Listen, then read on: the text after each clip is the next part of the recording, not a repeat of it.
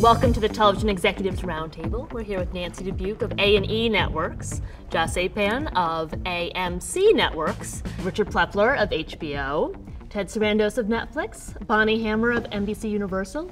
Thanks for joining us, everybody. I think we'll start with a question for the group.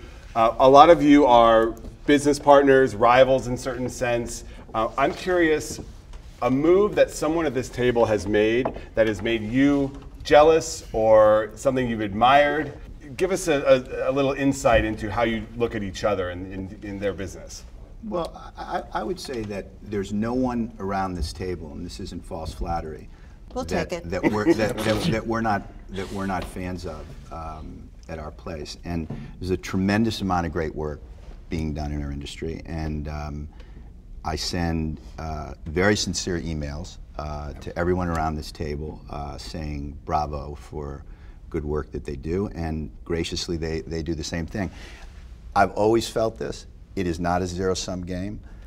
Everybody's doing something slightly different to elevate their brands and their businesses, and there's room for everybody to do that and do well. That doesn't mean we're not competitive. It doesn't mean that when I see a great show on AMC or I see a great show on Netflix or I see Mr. Robot or I see some great work on history that I don't say, where is that?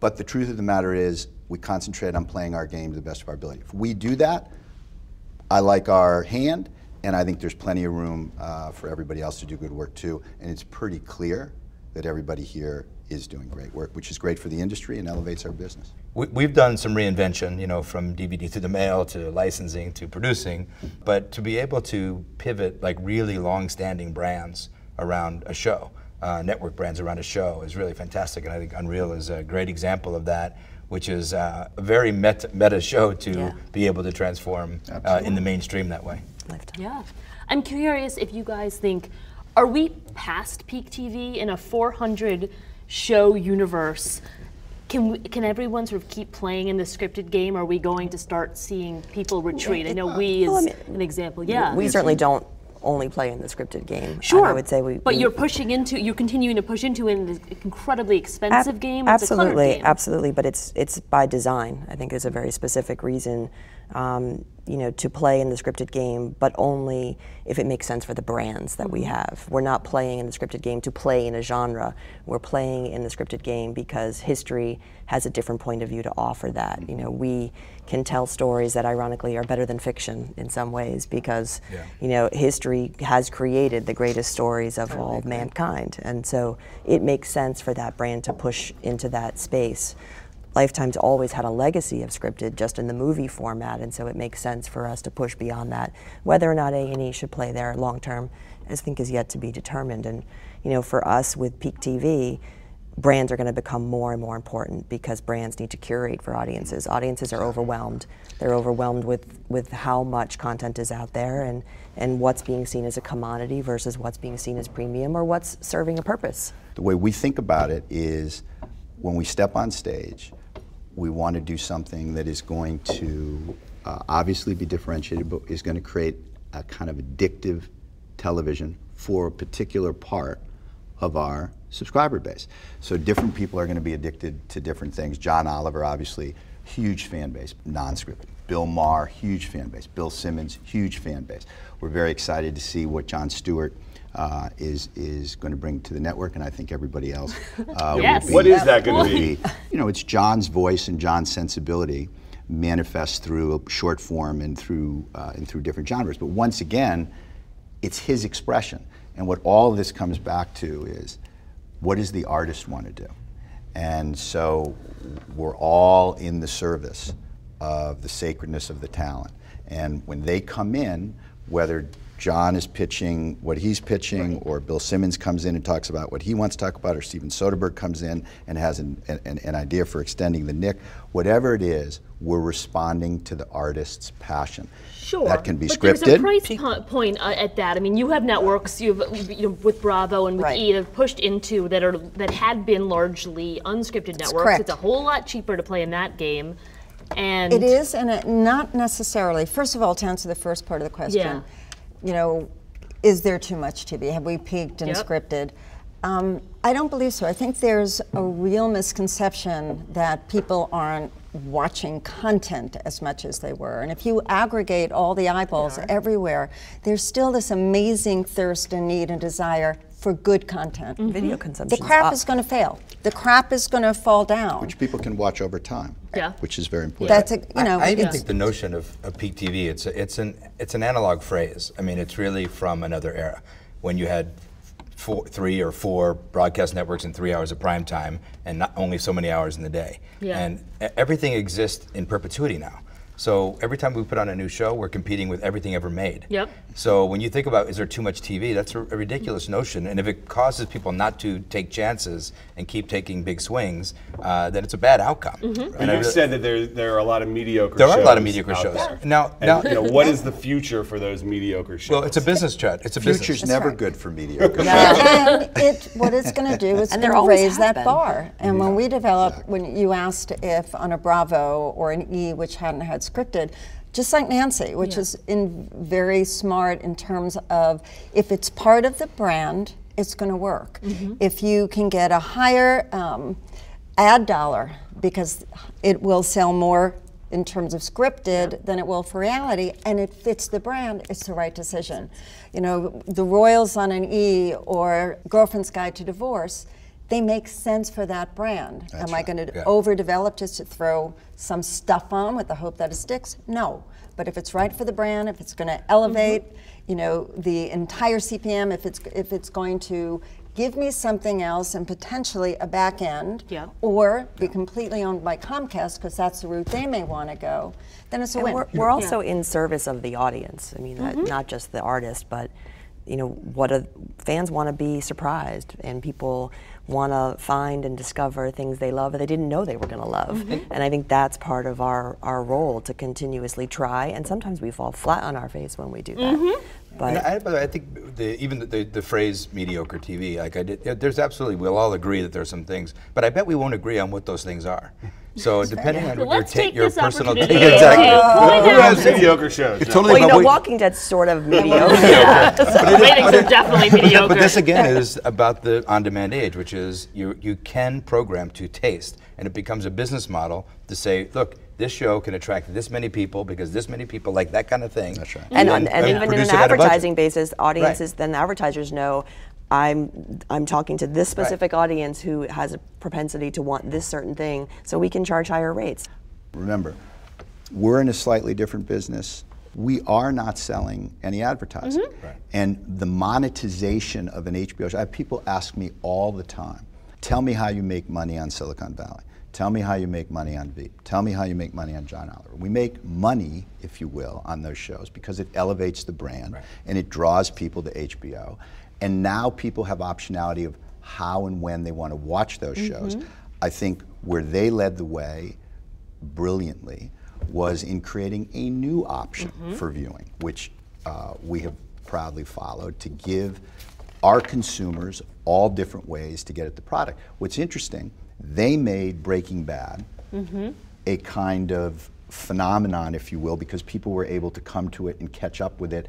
And I think the conversation around Breaking Bad elevated, right? The Wire became something quite remarkable later on. Yep. It never did huge ratings when it was on HBO. Yep. And as HBO Go emerged, people started catching up with The Wire, and now people are going back and having a third run at The Wire. Again, brand elevating. How do we monetize that? We monetize it because it elevates the brand, Sure. which is a virtuous circle. It also brings creative talent from Of the film side to, that, that, that all of a sudden television becomes the destination. Yes. Of course, absolutely. You have an example of that with Mr. Baz Luhrmann of Yeah. late. And we started with one with David Fincher. You with House of Cards, absolutely so, did. yeah. Neither Yeah. of whom are uh, or have cheap visions, I will say. Mm, And there's been so this this 120 million dollar number came out. Um, he said recently that it's not the most expensive show ever made. Where what, what's right, what's wrong in all of this, and He how is quickly that threw the crown under the bus right yes, away, He did, yeah. but what- he didn't actually say what was. But that is starting to absolutely kill us poor people here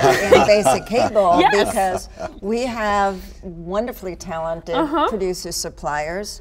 Thank you, people like Yes. Sam, who have created Mr. Robot, Yes. doing a great job, who all of a sudden hear what these guys Uh-huh. are paying and are coming in and going like this. And Uh-huh. if we want to keep amazing talent, all of a sudden it's raising our bar in terms of Absolutely. what we have to put out, and then at that at that same moment figure out okay, what's the back end? Uh huh. But you know, that's what I think all of our jobs right now is to kind of figure out how to target content for consumers and go wherever those consumers are.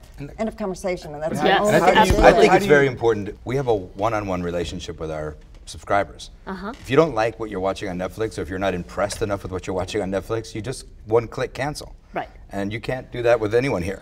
And so that does make a. We have to make noise. We have to. Sure. We are part of our business mandate here is right. We're making event television, and it ain't cheap. It's not a cheap thing to do. So and we have to take those big swings every once in a while. And you're not. We're not competing you know, against uh, ABC sitcoms. We're, not we're, all, we're competing against Pokemon Go. we're competing against the, you know, $200 million blockbuster movies. Uh, we're competing in a, in a really noisy world for attention for some of these shows. Well, do you and have I the think same bringing Baz Luhrmann to television um, is, and, you know, I think there was a, a lot of press around whether or not like this runaway budget. It wasn't. We knew going in that when you work on make a Baz Luhrmann production, it's not going to be cheap, but it's going to be spectacular. But you And just we said that you, you spent six billion this year, Yeah. and you said you're going to go higher. Where is the ceiling for Netflix budgets? depends on the subscribers. But the subscriber numbers have slowed, at least in the U.S. They have grown. They've They grown, they- but the nut- but the rate of growth mind- has has slowed. The, uh, it's a law of big numbers. Right. So of course the rate of growth was slow, but it, w- we're continuing to grow at a very healthy pace. It was a, a, a miss of a forecast in a quarter, but in a, in a very healthy growth quarter. But I'm But is there a curious- ceiling? Uh, it depends on what you think the ceiling is for Netflix. I mean, in terms of how many people will be Netflix members around the world. Uh, because I, um, when Netflix, when you join in uh, Netflix in Mexico or the U.S., it's the same revenue pool. And we're programming to the, and when you're making programming like this, Yeah. Baz Luhrmann movies are wildly popular in all over the world. In, Yeah. In, in Korea and Japan, where American movies haven't uh, don't always do that well, Baz Luhrmann movies do. Right. Um, so there is a method to this, and so I think the the the content budget is a direct reflection of the subscriber base. Point- Do you guys have when you're when you're trying to negotiate with talent and, and they know what these two guys can pay? Oh, it's a headache. how, but how do you convince people to take shows to your network? I think it's a, a lot of it is the stories that people want to tell. You know, if you're Michael Hirst and you're telling the Vikings, and then you want to tell a, a drama about um, the Knights Templar, we make a lot of sense for that, and they want to know who's seeing it. They want to know that they're speaking to a specific fan base and a specific audience that, you know, they're making their craft and their stories for. The so same you don't have 120 million, but you can No, offer I the mean- and it's not only just an artist is, problem, Is, it's- as everybody here knows, just spending a lot of money doesn't mean it's great television. Correct. Thank Exactly you. right. Is absolutely no guarantee. Now, this Tell may end up. agents This may. This may. This Baz Luhrmann thing may end up being uh, uh, a, s- a super hit. Um, but more is not better. Right. Only better is better. And we've had a lot of successes with shows that have been mid-range budgets, and um, some shows where we've spent more money haven't landed i- as well as we hoped that they were going to land. And most so, of our unscripted fare rates higher That's than right. most Yeah. of the scripted fare on all of television. especially now. So it's Right. Yeah. it's a the lure for us is what we call symphony, and AMC does it in that way, and A&E does it in their own way, where we can offer a producer, uh, an entity. Right? It's not only going to be on a USA, or we may cross-platform a USA and a Syfy, but you're going to get promotion across the entire portfolio, meaning NBC, in the parks, everywhere we go. So the attention to a show, the possibility of marketing, Yeah. is something that we can s- balance out. But if I go here, they're going to pay me that much. Yep. So it's the attention, it's the marketing, it's the hand holding, and the freedom. We will now, uh, we have learned to offer some of our producers and our writers. I think we're going to continue to see that if you want to do an independent film, which we finance and make, we made Boyhood, you probably don't want to deal with a studio because they're not going to write checks for 12 years Uh-huh. as you hang around and watch this kid grow up. It's just not going to happen. And you'll get Boyhood. that was, and I thought it was brilliant. Yes. Boyhood. It was it was rough at year six. So, um, are we still doing that? Uh, but but in all seriousness, they're not going to do that. And so you see these independent films emerge, and they take on a world of their own. Yeah.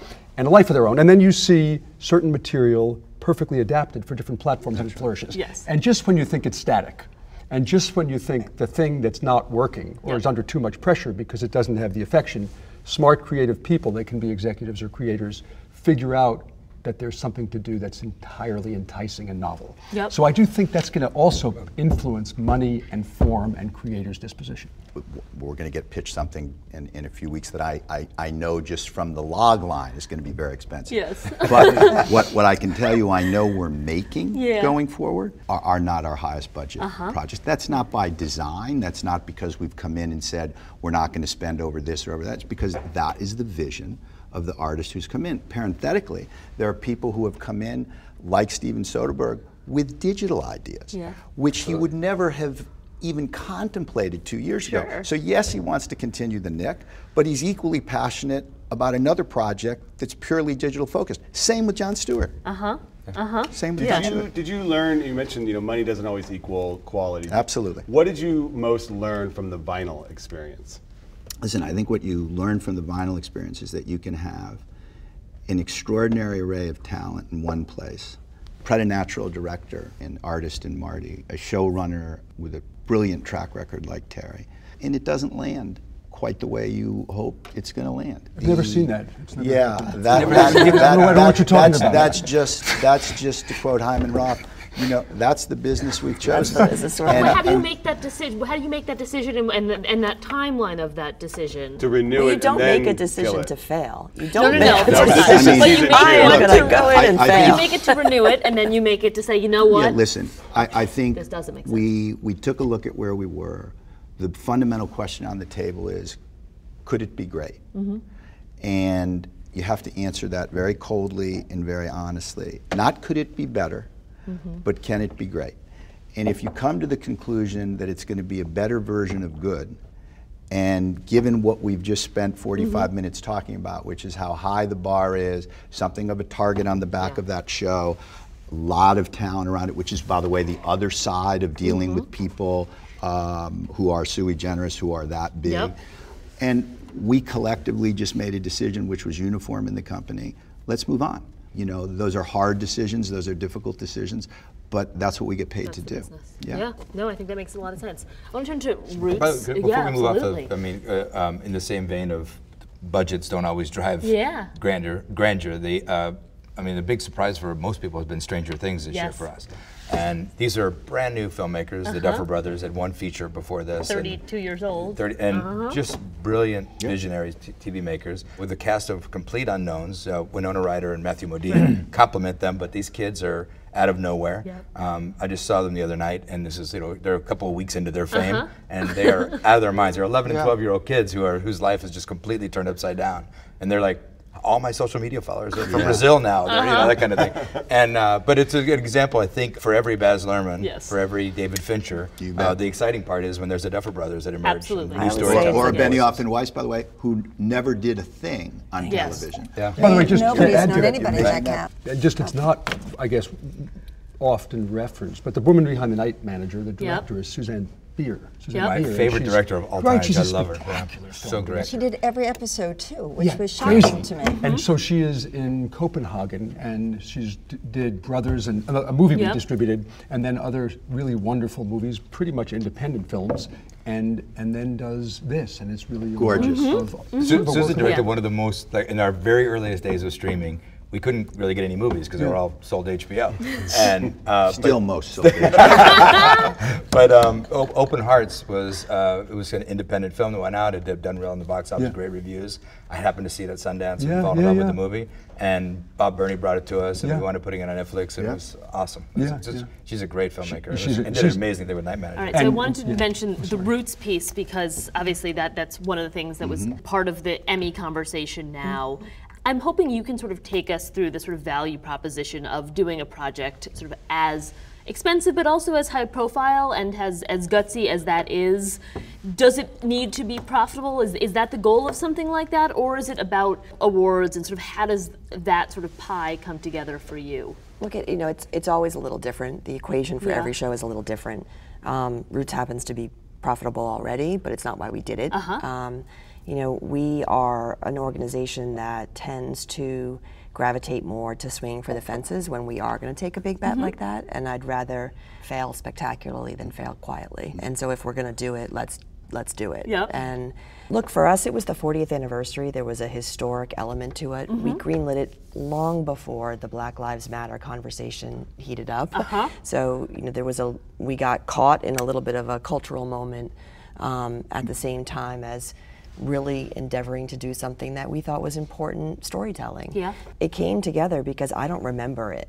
I was too Exactly, young. two and so I said to everybody, this was a cultural moment in television and I don't remember it. And so there's a million of me out there. Let's do it. Yeah. And and that's really sort of how it came together. What deserves added praise is you take on an iconic piece like that. Yes. All eyes are on you. I did know we couldn't And- screw up. and you did. You, did, you not only you not only didn't screw up. In We had that in- with Full House. and you honored it. My children were not disappointed. I think you, Yes. you, you elevated it for another generation and The you did something important. Yes, Absolutely, the thank you. swinging for the fences piece. The, the other one you've done of late in, in recent months was was Viceland. That is one where I think there was a lot of people sort of ready to pounce on. Yeah, I mean, look, not on what it was. And- Not only do we have to find great shows and great creative, but we're also tasked as you know, as executives, not just television people, with finding new models for our businesses and ways to expand. Um, you know, Viceland is part of a broader initiative where. You know, we're part owners in Vice proper, and so it was a it was a bigger conversation. I mean, indirectly, Richard and I are in business Absolutely. together, and and I think that's where the business is going. I mean, I think if we were to all come back to this table 10 years from now, you know, our businesses are going to look very different. We're going to be partnering differently. We're going to be selling to each other. We're going to be using our brands differently. And you know, not only do we need to to swing for shows on behalf of the audience, but we have to swing with business ideas and strategic ideas to make sure that the next generation of creatives have you know a completely new imagined or reimagined way of having their products seen. you know, you guys are indirectly in business together, but then you've got a Mm-hmm. sister company, CNN, Jeff Zucker, saying, you know, look at these Viceland ratings, they're horrible. Yes. Uh, how do you Yeah. reconcile that? I mean, C- Let me say two things. First of all, they're doing with Vice exactly what they should be doing with that piece of the brand, and we're doing with Vice exactly what we should be doing with the public affairs and news side of the brand because that's where we started with them. The show did very well, it got a lot of traction, and what we said to Shane was, let's design a daily news show again to the digital optionality that we wouldn't have had before. Designed for millennials with a particular voice that tries to bring some intelligent context to an unbelievably complicated world. They and we hired somebody of Josh Tyrangiel's breadth and intelligence to be the uh, executive editor of that. And I think we're going to do something important. The, the, the street talk that goes back and forth between them, I actually find, you know, a, a, a little bit silly. Jeff's doing brilliant work at CNN. He's elevated the network. The proof is in the pudding. You must be so thankful for Donald Trump. no kidding. Their, their, their, He rating, created them their, with The their, their Apprentice, ratings so- are way up. Um, so I think, again, to my earlier point, there's room for everybody. Of course, but but Shane has, said, Shane has said that he didn't tell you guys about the Viceland Yes, he did. deal. He did? Oh, At the end. absolutely. And Bill Simmons. no, no, no, not Yes, only, not even, no, absolutely. no, no, no, no, At no. the. Absolutely. No, no, no, no, no. We drew a very clear demarcation when we were talking about Viceland, and, and I asked a very simple question. Do you have the time and the focus to do this? Do you want to do this? And if so, can we demarcate what's here at HBO and what's going to Yeah. be on the Viceland network? And we carved it out very simply. Public affairs and news is going to be on HBO, and then Everything all- else is everything else is going to be Can we on ask Viceland. how? I mean, how from a ratings perspective, we know what what Zucker thinks of it, but from where you sit, how is it faring? I mean, it's Yeah, doing why would you give your ratings? Exactly. I'll tell you mine if you tell me yours. yes. Um, you know, I think it's doing exactly what we set out to do. It's garnered a couple of Emmy nominations for a three-month-old channel, which is really the goal. It was to attract an audience that's not watching much TV, which it's doing. It's been growing every week, and the ratings are going to be public soon enough. But we're trying to pivot the conversation away from just purely a ratings conversation. Well, in defense of in defense of swings, if I may, uh, almost a sure sign of a great future entity is some attention in the birth canal when everyone jumps up and down and says no. Absolutely. You know, no, no. They're often competitors. Yep. That's a good sign. Yep. That Yeah. suggests that they're Yep. sort of paying attention as Hence opposed to concern. indifferent. Yeah. Hence concern. And Yes. so you can go through, and I could tell, I could tell you our own tales of who said what when. Yes. Why are you doing dramas that cost too much and you can't monetize and you'll drown your company Uh-huh. Yes. early on? Followed by who are you going to be when Breaking Bad and Mad Men go off the air? You've got nothing. That's your identity and your destiny. We know something Followed about by that. all those series of questions. In all seriousness, but the the the, the Viceland, by the way, personal opinion is it's spectacular and its voice is really true. And it will be not only sustained but fully redeemed. Mm-hmm. And I really are- believe and that. we But, are- but also the being sign of when you swing. Yes. Generally, there's some chorus who's course. probably I, I know how to put ratings on that channel. I take some of my programming and I move it to that channel and it has ratings. And but we- we've made a very specific decision to be pure to the brand. Yep. Because brands matter. Exactly. the easiest thing in the world is for somebody to come in the room and tell you why something won't work. Yeah. Happens every day. Oh, yes. And so ultimately, the government is to choose. You're going to make the decision. There's never a guarantee. It's way more easy to say no. Exactly. Way more easy to say We all get the question, how do you pick? Like That's right. Oh. I think one of the challenges for all of us too, and is how do you refine and grow a brand as audience age out? Yep. Because the brands may be targeted not just a certain demo, but a taste of that demographic, mm-hmm. and yet you want to stay pure to your brand. But as the millennials age into it and the 50 somethings age out of it, there's a lot of risk in doing that, and I think HBO.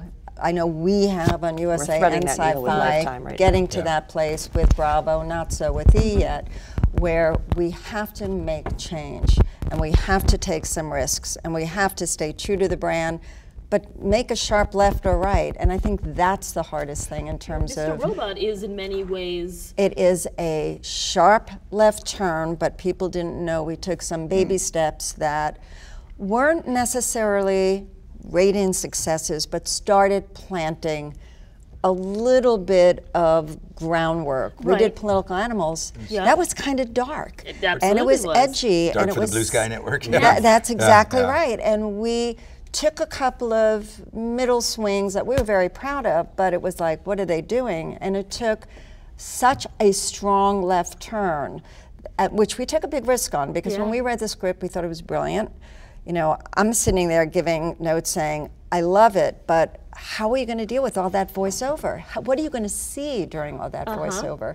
But we knew that it could be very indie and die dead, but the critics would probably like it, and so we experimented. But we were willing to take the risk. But go, is that a rep? I mean, is that a model that you can replicate? Because the, the the ratings piece of it, you ha- you've gotten that critical attention, you've gotten the Emmy awards, and it has sort of changed the perception of the brand Yes. in a really important Yes. way. It is not the commercial hit that a lot of those blue skies. And the same is true for live- Unreal. right, You but can look at this Unreal the same way. It's yeah, this- but this is a discussion in terms of constantly. live same Yeah. versus the reality of aggregating eye- eyeballs. Mm-hmm. And we have not gotten to the place where we can aggregate who is watching that where, whether you're dealing with VOD, SVOD, every single platform that that, that, that is on. We'll have in a week from now, as best as we can, the aggregation of everyone who's watching it. And it's pretty damn huge, but It they're not big. watching it live same. Live same to live, you know, L plus three is one thing to L plus seven How are you is different. decisions it's without- 126 percent difference from L, But it's LS also managing a L3. portfolio. I mean, Bonnie and, and, and Josh, and we have uh, large portfolios. One show isn't going to crater any of our networks, and, and you're making a decision based on a portfolio of choices. So you have your high and your low. You It have is interesting that like a show like you just described, the better monetization for that show would probably be subscription, right? Because L3, L7, L30, L60, L150, L, all those uh, they're not monetized equally. So when you start aggregating the audience, you can't say, well, so in, in that, and that's why one of the things that we're, we think why I'm trying to disconnect ourselves from all those different mechanisms is that it's equally valuable for me if somebody watches Bloodline season one the week after season two Same. launched Same as, with us. Yeah, two years but- ago. But we there's also still have- value in we're- ad sales. Yes, you know, you take Yeah, a look yeah. at what Robot has done for the cachet of the channel at Yeah. large, Yep, yep. and those wanting to be in it, in spite of what that live same number Yeah. is, and it just creates a. Fr- you you can't buy what the Halo has done for USA. Are we going to do mm-hmm. everything that's so that true. dark? No. No, and we also have international business. I mean, we're Yeah. in you know Yeah. 200 countries, so Right. Roots is traveling globally. Unreal is traveling globally. That's you know we're a very U.S. centric. You know, point of view here at this table said. and as Yes. a country, Well, You know, and that's not the- how you we're know, that. U.S. rating data point Doesn't matter. Doesn't, and, They don't it, care. But it defines when outside of the U.S. Yes. It, you don't want that as a negative when it doesn't matter to that country. Yeah. Yeah. Uh, Marco Polo is one of those shows for us. It's usually popular all throughout Asia and Europe, and uh, and it's a lot of focus on whether or not my, your neighbor is watching it right Yeah. now, and it's really irrelevant. It's really it's doing exactly what it was supposed to do. Because Lacey, what's curious also is, I think if you're in the jobs that we're in, you're paid to look at what's happening today, Yeah. next week, next year, and uh, time beyond as well, because the businesses will go on. There wasn't streaming subscription a very short time ago. It is now, look how predominant it is in our lives. And so, streaming subscription didn't exist a few years ago. It's brand new, relatively, and it has all sorts of monetization opportunities. So, when you evaluate a piece of content today, it's particularly if you own it, um, it's probably misguided mm-hmm. to take a time frame that's very short. Yep. And because you're going to blow it, and you better have the right time frame in your evaluation uh-huh. because you'll be heroic for a week and you'll basically trash an entity Yep. for a month or three years. Yeah. So, so the world really, the, the consumption patterns move with sh- lightning speed. Right. And so it's really good, especially if you own. I mean, that's part parcel of the part of it. evaluation. That- Yep. Own, own, own it. Yes. But if you do that, which we all increasingly do, we set up AMC Studios. We now have 15 shows in production. We own all rights. That evaluation changes Yeah. everything you look at, and it's actually it's slightly difficult to formulate and identify value over time. But it's very true that the winds suggest that there is, as Richard demonstrated uh, when he talked about the wire, which, by the way, I've come to admittedly terribly late, and so I'm on. I'm, I'm actually No now- spoilers. Yes. No spoilers. exactly right. you mentioned you mentioned the OTT piece, and Richard, Richard, you uh, gave some subscriber numbers a few months ago. Can you give us an update on where the HBO OTT Not- numbers are I- now? Not without creating um, a, a tremendous amount of concern inside. That's what we would like you to inside the IR community of Time Warner, other than to say we're obviously very pleased with the progress of, of our OTT um, business as it grows and improves and evolves. Look, for us, OTT is just another option for the consumer to get HBO.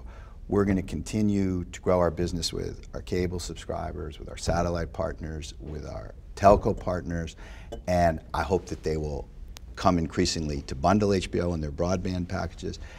And then we have another option, obviously, which is streaming, which Ted uh, and, and Reed introduced to the world. And uh, what you see is you just want to be available in any way that the consumer wants your product. And in this crowded world, people want curated quality that they can trust. We own our own programming. And because we own our own programming and have owned our own programming as a model throughout the modern history of the company, when we license our programming into 150 countries around the world, apart from our 60 networks, now adding a new dimension of OTT in Brazil and Spain and Mexico, we're now finding all kinds of different ways to monetize the brand. We're not monetizing a specific piece of programming when we do a licensing deal or an mm-hmm. output deal or a home of HBO deal.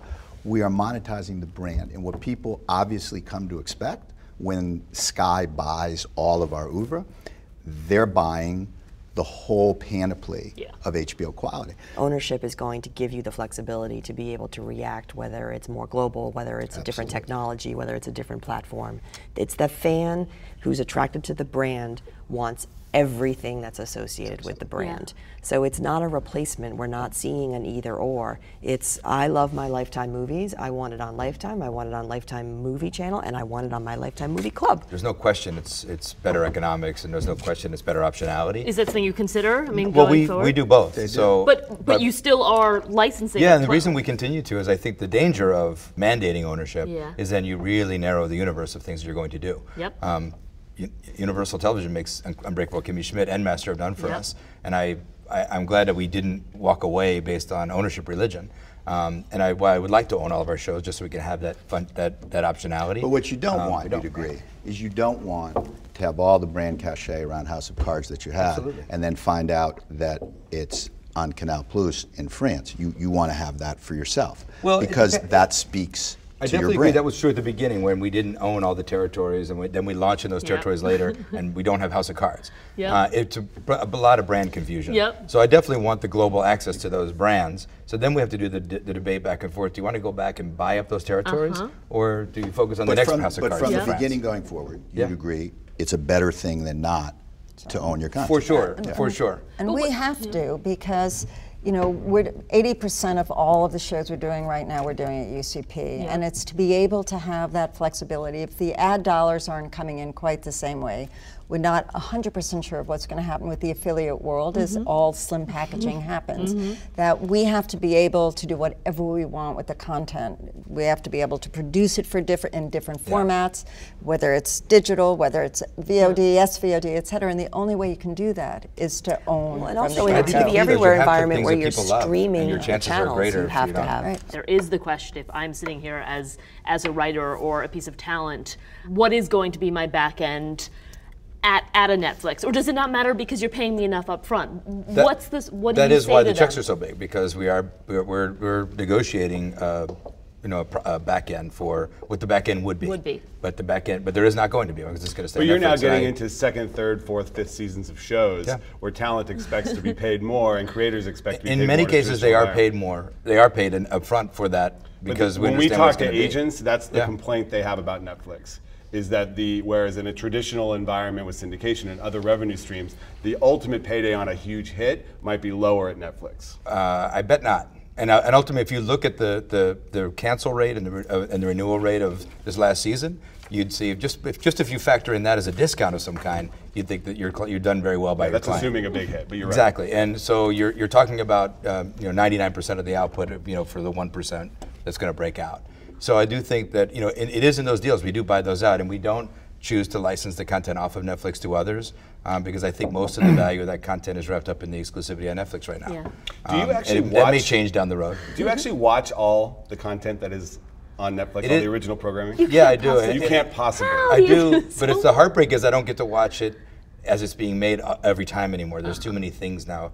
We have a this month we have a, a, a documentary series called Fearless uh-huh. about the Brazilian bull riders. It's unbelievable. It's the kind of thing that I, in the old days I would have loved to have been involved in every shoot and every cut of that thing, and you just I, you can't. You watched every episode of Fuller House.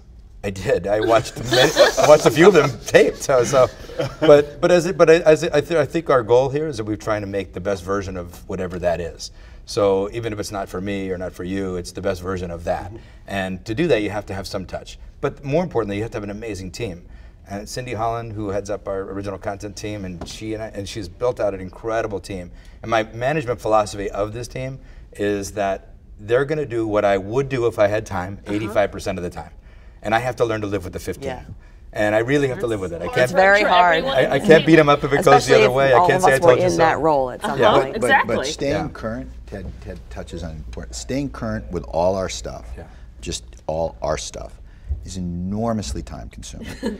and I know everybody around this table is, uh, is is also healthy neurotic, so they're watching early cuts. Yep. And I'm watching and your stuff. They're You're following your that. I mean, we're reading, I'm- for I'm God's sake. sakes. I'm fans, as I said at the Pawn beginning, uh, of, of everybody. So I am watching. Yeah. Um, Yeah, it's o- borderline other- taking the joy out of television. It has. other, other people's work. And I, and I will tell you, add to that our reading, add to that, Yeah. um, you know, those of us who, who are who are news junkies, I get less sleep. I'm Yeah, sure the worst do. thing And, about the um, Lifetime there's a lot merger was do. I knew that Project Runway.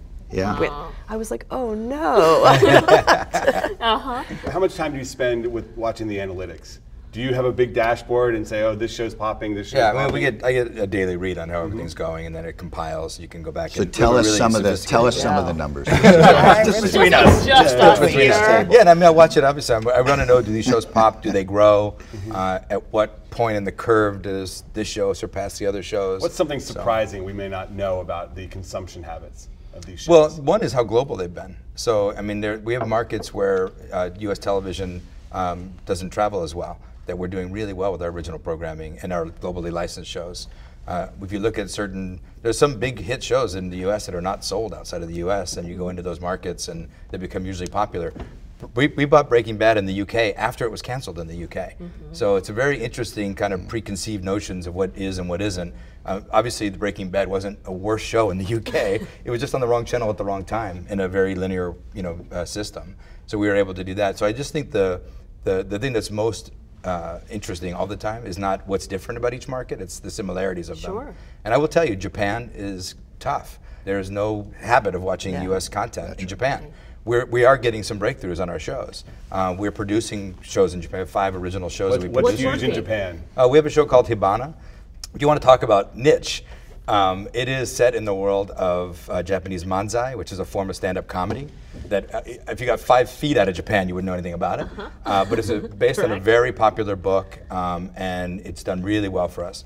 We produced another original show there called Terrace House, uh, which is kind of like a teen Big Brother, and it's hugely popular and being watched all over the world. So when we do these originals in local language in all these different countries, uh, we're also making them available globally. So it's always really fun to see It them bears, break it out. bears noting, all of our indigenous programming outperforms all of our American-based programming. And so you have to be mindful all the time that while everybody is excited about seeing the kind of uh, collective of the HBO uh, library and, and of our current programming, when we make shows in Latin America and we make shows in Asia, they outperform our shows. And if you looked at, if you just went into, if you went into England, for example, and you looked at the top 75 shows in, in England, they're not American shows. Right. Yeah, British, British, pro, British They're Yeah. British programming, programming. So Japan is hardly an anomaly in that regard. It's it's it's a more it's a particular example of The the, point. absoluteness of- It's the the absoluteness absoluteness of of the point. All right, final Exactly. question. In two to three years, how do you think your businesses will be different? We've seen a lot of mergers lately. We've seen Starz and Lionsgate come together. We've seen you know changes in consumption habits. We've how do seen you, rumors of rumors of rumors collaborations or of spin-offs or such things? How will your business be different in two to three years? I think we're going to continue to figure out the best way to streamline internally so that as we did this past year, creating all development for scripted, kind of kind of coming through one tunnel, so it's one-stop shopping. Similarly, you know, we're trying to figure out how to do that with um, reality, which is a little different because sensibility is different. I think we'll have a lot. I'm hoping that we'll have a lot of adjacent businesses that will allow us to play in the digital world with sell-through, with more social coming in. So we're not dabbling in digital that has nothing to do with our lifestyle networks, but they are adjacent businesses that connect through. Um, we have one deal we're very close to right now with Priv, where connected to Bravo, NE, et cetera, we'll be able to play in all kinds of formats but really work with the brand and the business for what it is digitally, for what it is in terms of luxury and business and clothing, et cetera, but also connect that to our linear business. For you, 12 billion a year in content? and what's your time frame? in two to three years? Three years, yeah. I think what happens um, for us over the next couple of years, my job has not been the same for any two-year period since Two-minute 2000 since I joined. But what, what I think the big, most fundamental shift is going to be um, the volume of original production that's going to be happening uh, for Netflix. Considering we're, we did almost none three years ago, just flash forward three years from now, and um, we probably will be producing more original programming than any single source, any single network, any single studio globally.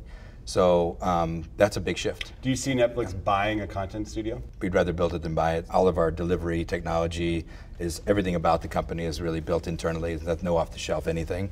So I think we that is kind of in our DNA to build it instead of buy it. So How about you, Richard? options, you know, continuing to press on um, options for our consumers, working with our current partners to bundle and create win-wins with different forms of distribution. Um, for us, we think it's very multifaceted, right? So if Comcast, is an example, wants to package us in their triple play, that's great. If they want to package us in Basic Plus, that's great. If they want to put us in a skinny streaming, that's great. If they want to put us in their broadband only bundle and upsell into a cable bundle, that's great. What we've built over the course of the last two, three years is the flexibility for our partners, both in the ecosystem and in the new digital ecosystem, to market and sell HBO in myriad different ways. We're going to continue to press on that advantage. We too are going to make more and more programming. And I think one of the things we did not talk about today that bears mentioning, which is 74% of our viewing across all platforms is Hollywood movies. Mm-hmm. It is astounding when you see the numbers on those movies mm-hmm. across all platforms. Is that true of Now and Go as well? in terms of watching? Absolutely.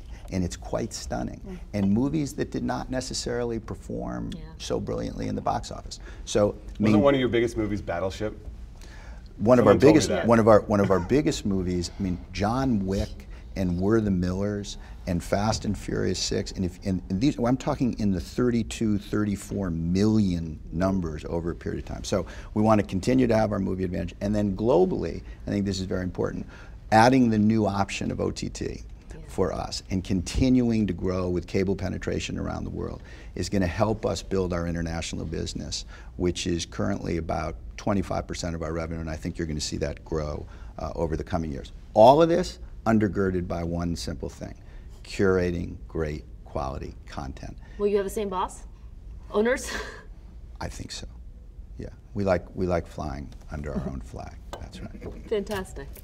All right. How about you? You have guys have something quickly, and then we'll wrap up. I'll up. try and make it quick. I Yeah. think I'll try and say it because these guys have said it well. I think we will be more global. We spent a billion dollars buying channels around the Can I globe. have We'll my channel back? I think we'll be. I keep I asking. think- He's like, no. I think we'll be more global. I think we'll own more intellectual property by producing it ourselves and developing it or purchasing. We will develop more facility to go direct to consumer. Mm-hmm. And I think we'll be thought of or think of ourselves increasingly as content owners, manufacturers. I guess that means we have to walk and chew gum. At the same time. Nancy, will you will you will A and E have the same number of networks in the U.S.? We'll have fewer. Will Yes, they- I think we've already done an amazing job at culling our herd and sort of saying we're in the business of, you know, brands and we've picked our brands and these are our ponies in the race, so to speak. Um, I think the way that we think about our brands will evolve. You know, I think about history as a category and we have to own that brand not just on linear television. It has to be owned as a label that expands to, you know, all types of different storytelling and products. So, you know, thinking about our brands more holistically.